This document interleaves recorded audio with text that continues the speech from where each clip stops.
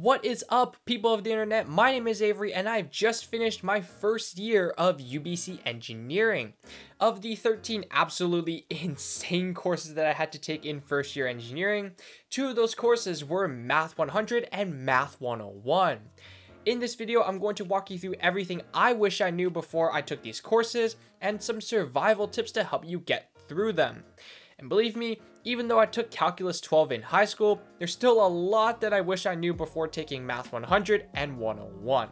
And just as a disclaimer here, everything mentioned in this video is based on my experience from taking Math 100 and 101 during the 2022-2023 school year. And all of the information in this video is subject to change in the future, so please don't get mad at me if your final exam is worth like 75% of your grade instead of 50 like I had it. And timestamps will be in the description below if you want to reference certain parts of this video again in the future. First off, what are Math 100 and Math 101 all about? In both of these courses, you'll get an introduction to the world of calculus in mathematics. Math 100 is all about differential calculus, and Math 101 is all about integral calculus. Both Math 100 and 101 have three flavors or styles to them, indicated by a letter after the course name, like Math 101A. Speaking of, first we've got the A flavor, which has applications to physical sciences and engineering. This is the flavor that all engineering students, like myself, had to take in first year. Then we've got the B flavor, which has applications to biological sciences.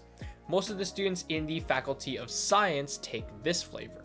And last is the C flavor, which has applications to commerce and social sciences, and is the route that most of the Faculty of Arts students take.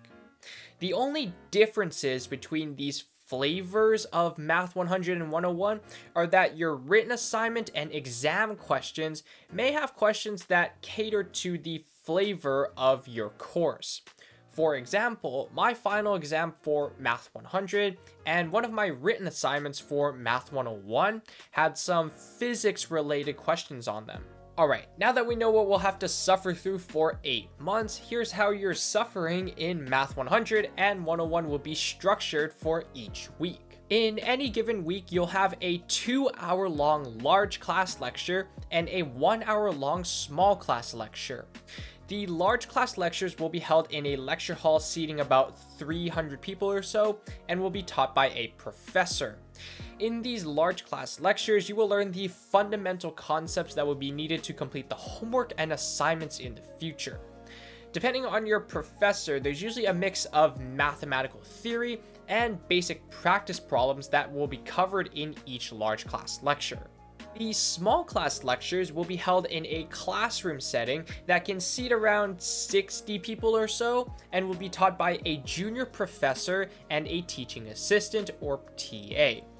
These small class lectures expand on the topics that were taught in the large class lectures, either by introducing new concepts that stem from the fundamental concepts, or by doing small activities that extend your understanding of the fundamental concepts. Attendance in your small class lectures is mandatory and counts towards your participation grade. These small class lectures are also where you'll determine your groups for the written assignments, which I will talk more about later. In terms of homework and assignments, you'll be using a site called WebWork to complete weekly assignments and quizzes. For the WebWork assignments, there are typically around 20 questions or so, and there are unlimited attempts for most of these questions.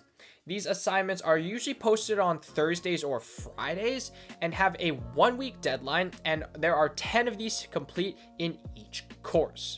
For the WebWork quizzes that open on Fridays, there are usually around five questions, and these questions are taken right from the WebWork assignment itself, but with slightly different numbers.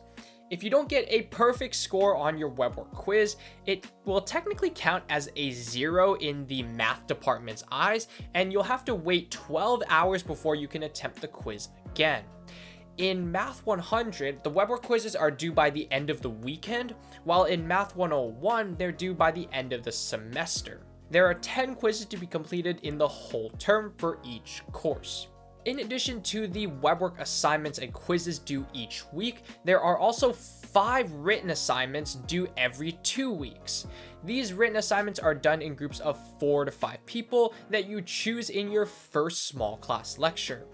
They're usually posted on a Monday and are due the following Friday in these written assignments are much more complex and intricate problems that push you to think about calculus differently. The concepts that are in the written assignments are well beyond what is taught in the lectures, so be prepared to spend 6 to 12 hours completing each written assignment. Your submissions for these written assignments must be typed up and are graded on mathematical correctness and formatting as well. Make sure to center your equations, put periods and commas after your equations, and center your equal signs because not doing any of these could mean some marks off. Now I'm going to talk about some of the concepts that you're going to learn in Math 100 and Math 101. If what I'm saying doesn't make any sense to you whatsoever at the moment, that's perfectly fine. Honestly, I didn't know that half of these concepts existed before I took these courses. Math 100 is all about differential calculus, which, as a great oversimplification, concerns the rate of change of something. It starts off with pre-calculus 12 concepts like functions and asymptotes, which gradually transitions into the concepts of limits and derivatives. With this base knowledge of derivatives and limits, you'll then learn about different differentiation techniques, optimization problems, some differential equations, and methods of approximating the slope of a tangent line. You'll then close off Math 100 by getting an introduction to second year calculus in the form of multivariable functions and partial derivatives. Math 101 is all about integral calculus, which is the branch of math that is concerned with summations and the area under a curve. It starts off by discussing Riemann sums and approximating the area under a curve, which then transitions into the definite integral, antiderivatives, and the fundamental theorem of calculus. You'll then learn more about different integration techniques and how to apply integration to differential equations. After that, most of the rest of the course will be dedicated to learning about convergence and divergence, sequences and series, and multiple tests that can be used to determine if something converges or not. The last bit of Math 101 will cover power series, Taylor series, and probability. Again, if what I just said meant absolutely nothing to you, don't be worried. Again, I didn't even know that half of this even existed before I took Math 100 and 101. In terms of the grading scheme for Math 100 and 101, here's the breakdown of what you'll be graded on and the weights associated with each item. First, we've got the webwork assignments, of which you will have 10 of, and they are weighted at 10% of your final grade. The webwork quizzes, which you will also have 10 of, are also weighted at 10%. Participation is weighted at another 10%, which includes small class attendance and the completion of two practice exams that are assigned to you partway through the term. Your written assignments, which you will have five of, are weighted at 20% of your final grade. At the end of the term, your lowest mark from your webwork assignments and quizzes will be dropped, along with one small class participation. In terms of exams, you will have one final exam worth 50% of your final grade. Now, this is where things get a little interesting because of something called the benchmark system that was introduced in my year. It's a really dumb system in my opinion, but I will do my best to explain it to you in the simplest terms. So, the final exam is out of 100 marks and is split into two parts worth 50 marks each. The first half of the exam has questions formatted similar to that of the webwork assignments. In plain terms, more simple questions. The second half of the exam has questions that are more similar in difficulty to the written assignment questions. In plain terms, again, more difficult questions and a lot more work. Now, here's where the benchmark system comes into play. The benchmark system basically means that depending on what mark you get in section one of the final exam, it will unlock a benchmark grade that will determine the maximum grade that you're allowed to get in the course. Let me try to explain some numbers now. So before going into the final exam, like imagine yourself outside the exam hall, your initial benchmark grade is 45%, which means that if you have a perfect mark on everything else except the final exam, and you just skip the final exam, the maximum grade that you can get is 45%. Staying with me so far? Alright, now we're actually doing the final exam now, and we're on section 1, which has the WebWork style questions and is out of 50 marks. If you score a 16 out of 50 on that section 1 of the final exam, you unlock the benchmark grade of 53%. In plain terms, you need a 16 out of 50 on section 1 in order to be able to pass the course. And to unlock the benchmark grade of 100%, you need at least a 25 out of 50 on section 1 of the final exam. This means that if you want anything higher than a 53% in Math 100 and 101, you need at least a 25 out of 50 on the first section of the final. This benchmark system also applies to the WebWork quizzes in Math 100, which I will quickly put up on screen right now so that I don't have to talk about it again. Honestly, I really hated the system and so did a lot of my friends, but you shouldn't really have to worry about it if you're like the average student going into engineering. Oh, and one note about the final exam for Math 101 specifically, I'm not going to guarantee that this will happen in future years, but for my year, we received a formula sheet for the exam that looked like this. And all I have to say was that we were applauding in the lecture hall when we found out about this, so I just hope that it will carry over into future years. Wow, explaining that benchmark system was much harder than some of the homework that I had to do this year. And to be honest, I really don't want to have to think about it again. So let's move on to some survival tips, advice, and some testimonials from my friends about Math 100 and Math 101. First, most people think that because they took Calculus 12 or AP Calculus in high school, that Math 100 and Math 101 will be a walk in the park. I'm going to make it very clear right now that this is not true at all.